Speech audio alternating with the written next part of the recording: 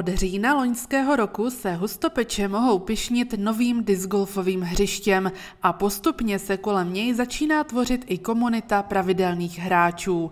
Ti sem v sobotu 12. listopadu pozvali kolegy z discgolfového klubu Kobilí a společně uspořádali první přátelský turnaj.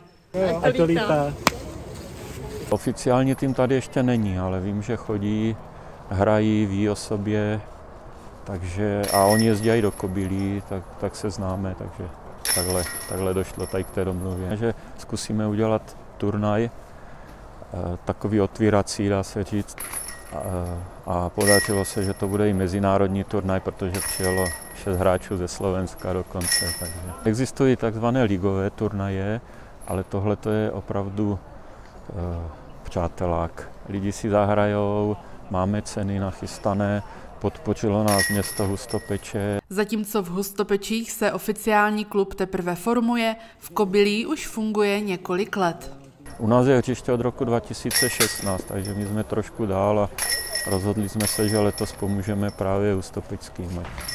A třeba se tady ta, eh, tady ta sportovní stránka taky rozjede.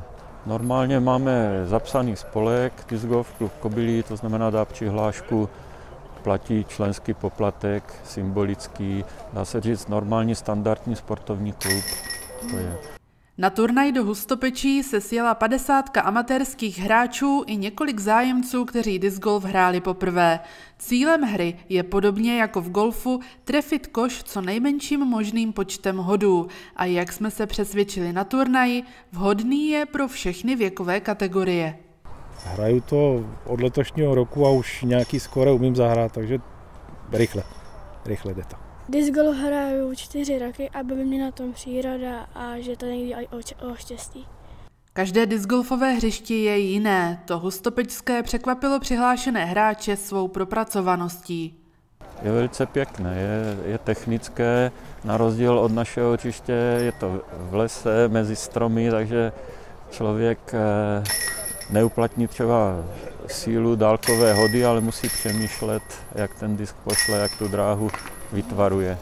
Na discgolfovém hřišti na křížovém kopci je možné hrát kdykoliv a pokud nemáte disky, je možné si je zapůjčit na turistickém informačním centru. Můžete tak potrénovat na další organizovaný turnaj. Určitě budeme pokračovat v té spolupráci, že jsme to zahájili a já myslím, že se to rozjede i tady velice dobře.